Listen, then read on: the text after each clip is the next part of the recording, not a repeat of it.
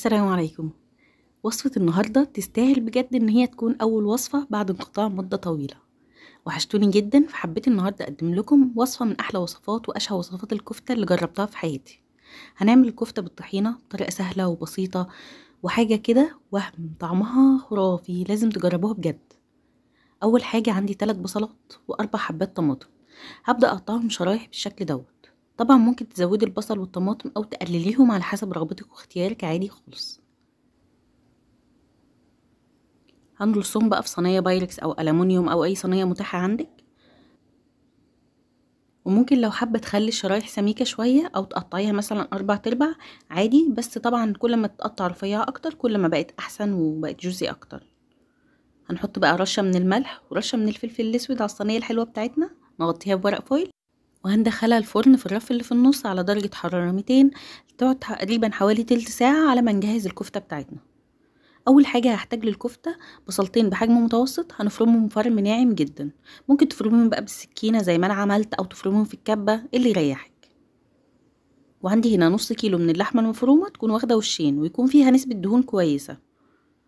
عشان تطلع معاكي أحسن نتيجة للكفتة. هنحط عليها البصل وكمان عندي فصين من التوم هتقطعيهم بقى قطع صغيرة خالص أو تهرسيهم بالهراسة بتاعت التوم.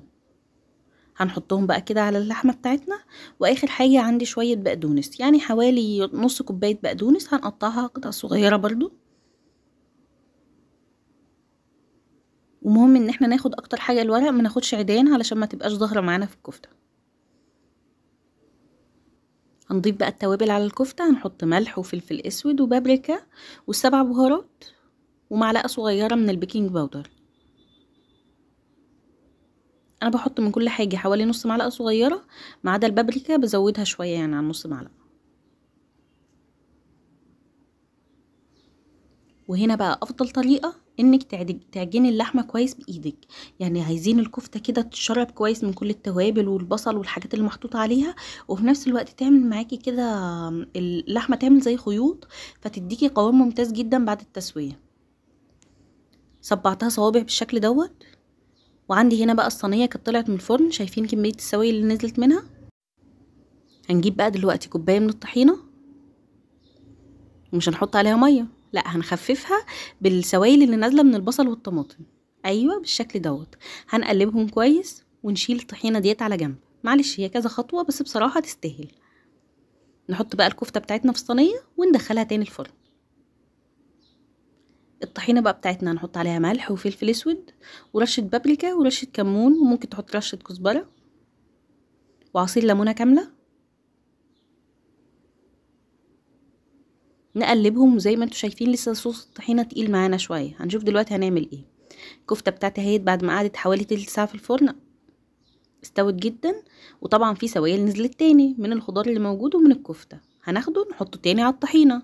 هتقولي لي إيه بقى يا هانم العك اللي بتعملي دوت؟ لا والله مش عك. جربوها هتعجبكم جدا. هنحط بقى صوص الطحينة تلات أرباع الكمية هنحطها فوق الكفتة تاني.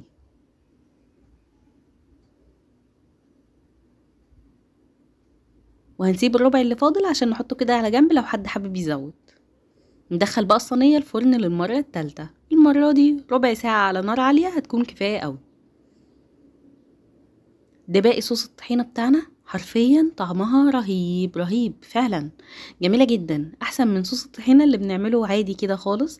لا الصوص اللي نازل من الكفتة كده والطماطم والبصل مخلي الطحينة طعمها حاجة تانية. وادي الكفتة بتاعتنا عمالة بتغلي وتفور. خطيرة خطيرة خطيرة. نزينها بقى كده برشة حلوة من البقدونس؟ طول عمر الكفتة بتحب البقدونس. هتقدميها بقى جنب رز جنب مكرونة حابة تقدميها جنب عيش؟ بصراحة هي أحسن حاجة إنها تتاكل بعيش يعني بغض النظر عن أي حاجة هي فعليا كده تحطي كده صباع الكفتة في رغيف وعليه شوية طحينة كده زيادة. يا سلام طعمها خطير. جربوها بجد وادعوا لي وصفة تحفة. أتمنى تشجعوني ب like ولو دي أول مرة تزوروا فيها قناتي أتمنى تنوروني كده باشتراك في القناة وكمان حابة إن أنتوا تكتبوا لي تعليق شفتوا قناتي فين يا ترى قابلتكم على الفيس ولا وانتوا بتعملوا search كده قابلكم فيديو من فيديوهاتي فدخلتوها ولا جت شفتوها ولا حد من أصحابكم بعتها لكم. أشوفكم على خير والسلام عليكم.